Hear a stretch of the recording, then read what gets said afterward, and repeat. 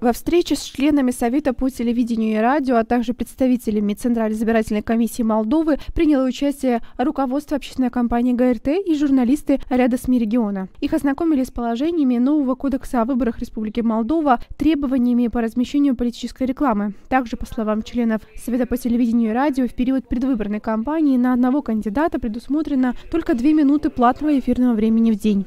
Я бы, во-первых, обратил внимание на новый закон о рекламе, который тоже недавно вступил в силу 8 января 2023 года.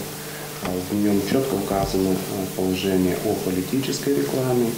И э, хотел бы обратить ваше внимание именно на эти положения, чтобы по возможности их э, соблюдать период освещения предвыборной кампании на должность Башкана Гагаузии и Народное собрание СМИ должны руководствоваться также издательской декларацией по освещению выборов, утвержденной Центральной избирательной комиссией Гагаузии. На встречу были приглашены все СМИ автономии, но пришли несколько. Мария Статова, Александр Глеков, Мария Казаку, Новости ГРТ.